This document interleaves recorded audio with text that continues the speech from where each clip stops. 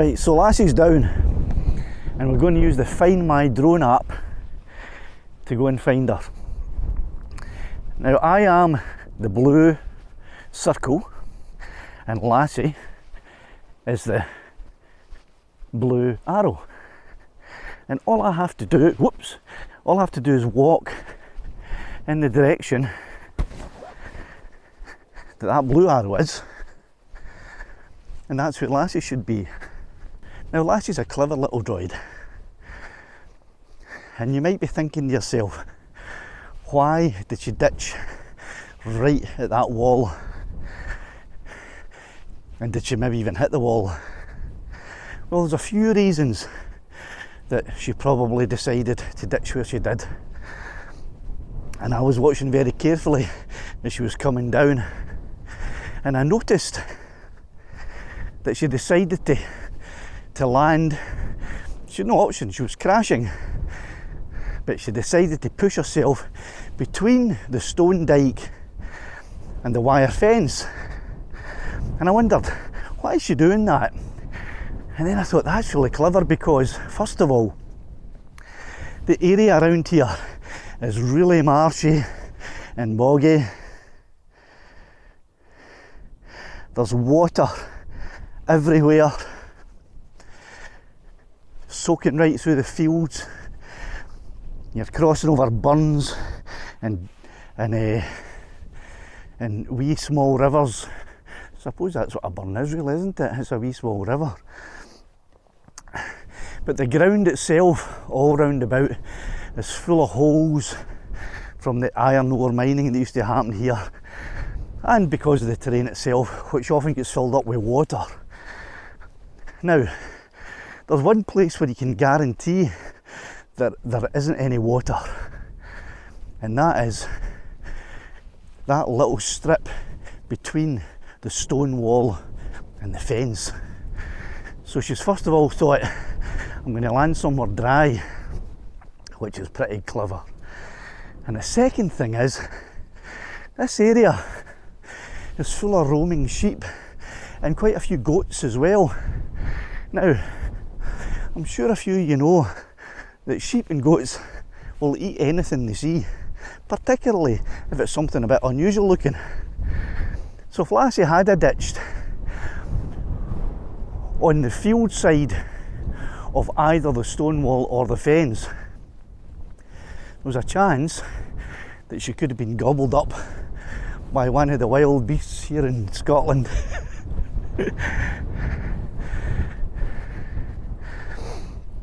so I think that was quite a clever decision that she made. Now she took a risk by coming in quite close to that wall and it looks like she may even have clipped it as she came in. But I don't think so. I think she's cleverer than that. So, heading up to get her, she's been missing now for six minutes. And I reckon, looking at the telemetry, that she was about a mile away from the home point. So, I reckon it's a good 20 minute walk to get to her. So we've been walking about five minutes, so it's probably another 15 minutes or so to go.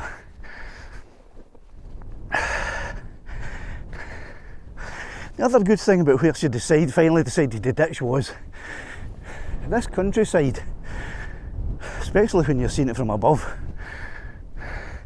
looks the same and when you're walking through the area, you're passing by bits of the terrain, it all looks pretty much the same as well.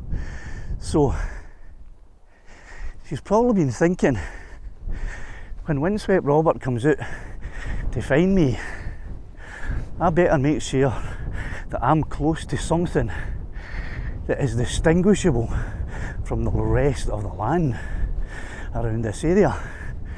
And that would be that small section of stone Dyke that still remains about a mile away.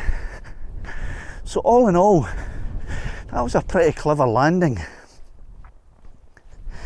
She came down and had no control over the descent rate whatsoever because that was a, a forced landing by a critical low level battery.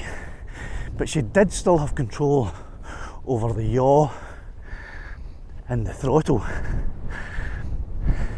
And I think she used that to great advantage in positioning herself in a, a very good spot.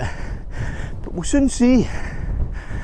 The sheep up here don't mess around, so they could be gathering around to see what fell on the other side of that dike. And sheep have an uncanny way of getting themselves in behind walls and in behind fences. So anyway, onward we go. And that is one windy day today, no doubt about it. And I knew when I sent her up there that there was a bit of risk involved with the wind, and I knew there was a chance that she wouldn't make it all the way back. But Lassie and I have tested this Find My drone app before. I'm just noticing there's all the sheep actually at the stone dike. Oh, hold on, got to manoeuvre my way over some more water. See there, there's water and marshland everywhere here. So that was a, I think that was a pretty good decision that that Lassie made. And I've just noticed there are some sheep up there, a whole load of them. Right, so there are a whole load of sheep up there hanging about and might be starting to look interested in a wee white thing with a blue and white jacket on. Oh my, look at this, this is, and here's another good reason why Lassie has decided to ditch where she did because look at the water here that I'm having to having to walk through get to her.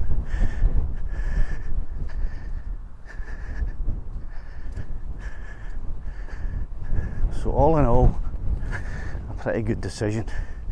So anyway, on the follow my drone feature on the DJI Fly app, you can see that I'm making my way slowly but surely in the direction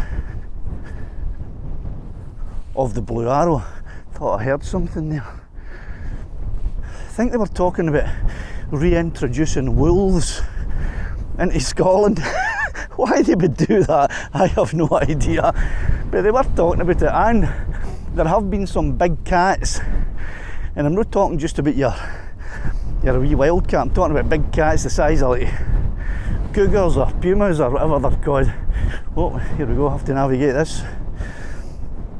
Right, wee jumps in order. Whoa, hey, oh, squelch. Aye, so there have been big cats spotted about here as well. So I'll have to keep my wits about me. There you go. 13 minutes she's been missing now. And we're getting closer and closer to her. I just have to get there before the sheep. Aye, so anyway, I think I was saying, me and Lassie have already tested the Find My drone app, or Find My drone feature out when we played a game of hide and seek earlier this year. And I'll put a wee card up there if you want to have a go and look at that, that video to see the first time I tried out the Find My Drone app. So this is the, the second time that we're trying it out, but I'm very confident that it's going to work just fine as I already tested it in the snow as a matter of fact which you'll see if you watch that video up there so there we go. That's us what about maybe half a mile we've walked now. Not quite sure. Oh, look at that. Right.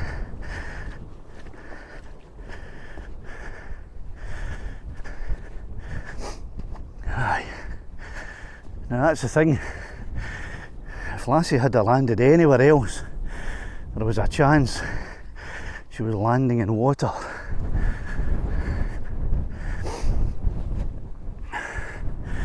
So I'm pleased that she was quick thinking as she was coming down to crash and chose her, her landing spot, or should I say, her crash spot. With all of that in mind, it's I mean it's just everywhere. Look at that. It's just there's water all over the the fields in it. Oh god, I'm gonna have to get my feet wet here, I think.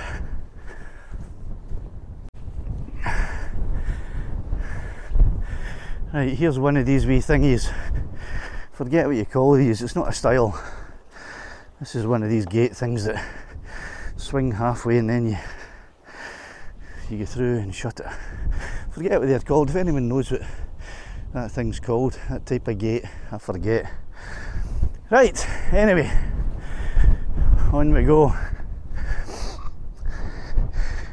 And we're getting closer and closer to that blue arrow, and I can even zoom in a wee bit now. Here we go.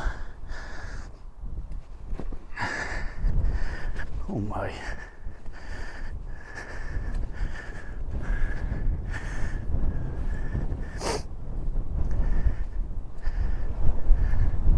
Whew.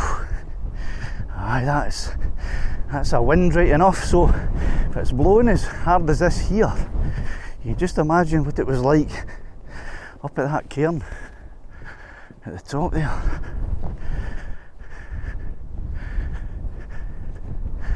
Right, where are we going to go here? Uh, right, let's try this path. It's not even a. Ah! Damn it! well, there you go. Just sunk in to the marsh by about three feet. that just shows you what it's like. It's fairly treacherous. I thought that was quite quite solid land there and I sunk in right up to my knees. So that's what happens when you come off the the path. But this is actually the, the trail I'm still on. I hope you can hear all the squelching going on, just to show you just exactly how incredibly boggy and marshy this part of the this part of the terrain is. Oh, here's another wee wooden but right beside a, a burn. Okay, we're getting closer and closer now. Right, and there's a stone dike just over there, but somehow we have to get over this bit of marsh here. Oh my goodness, that was in another eight inches.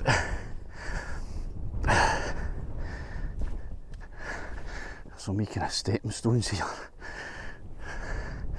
Take me through the the marsh a bit. Oh. Right.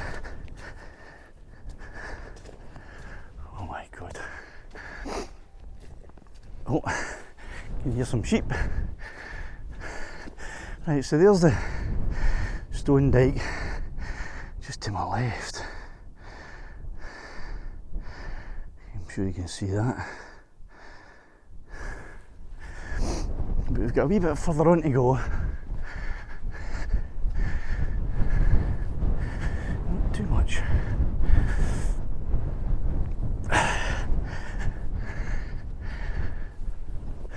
So I suppose this is all, this part two is all a bit of an anticlimax because it's been very straightforward Divine Lassie. But that should put your mind at ease a little bit. That if one of the reasons that you're a bit reluctant to take your drone out any distance and you're a bit reluctant to fly her close to that low level battery warning. This should serve as a perfect example of how it doesn't have to be a disaster. And in fact, it's no disaster at all as long as you have the the Find My Drone app.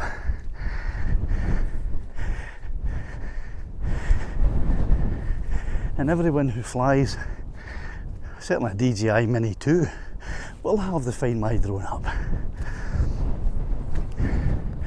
And it will take you straight to your lost drone. So we're not far away now at all. And if I wanted to, I could easily just go over there in between the dike and the fence fence which is on this side of it and walk up the middle because that's where she ditched she ditched in between the fence and the stone dike so if I wanted to I could walk up there. But I'll just continue walking up this way a wee bit so it's looking as if I'm pretty level with her actually. I may even have gone a few feet too far. So I'll start walking towards the wall and it would be this point if you wanted to. I don't need to but I'm going to do it anyway just to show you. If you turn on the flashing and beeping and hopefully the mics will pick her up. So here we go start flashing and beeping now. There we I can hear her clearly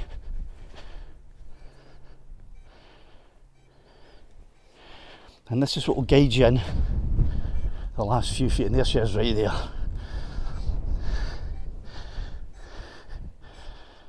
ah, perfect. So she's upside down.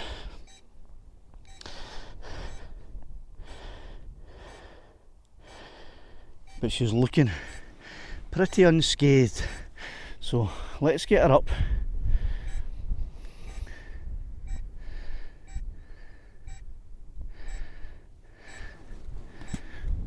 Stop that flashing and beeping. And we'll retrieve her. And there she is, so let's have a look. Okay, so it doesn't look as if there's any damage to the props at all. No, nothing there. They look good, I'll feel them in a minute. Looking all around her body. She looks good, the camera. The gimbal's looking pretty good too, so it's all looking good. No, there's no, no scratch on her. Right, so I suppose the next thing to do would be to see if she still flies.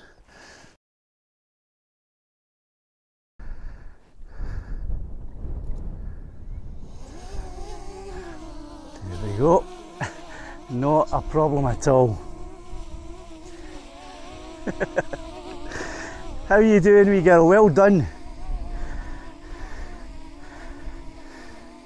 Well, we've got a bit of silhouetting with the sun there, so let's let's move her over and we'll have a wee chat to the camera. we'll get the sun behind me. Right. Okay, come in a bit closer. I don't want the sun right in my eyes. there we go.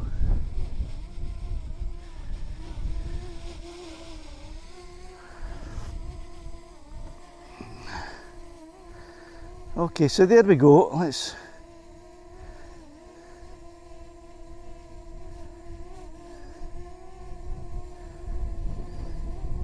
Here she is, flying absolutely perfectly. Doesn't seem to be a problem at all. Oh, I see there's, and there is water right in the other side of this. So there you go. There's water right in the other side of that wall. So that shows, and there's a whole line of water. Don't know if you can see that, but there's a whole line of water all the way along there. So, and it's I'm going to walk around about her here, but there's actually water. water everywhere. but what I'll do is, I'll have a wee walk round and we can check and see how she is but she's looking really good and she is bobbling about in the wind there so what we'll do is we'll get you in your wee bag lassie.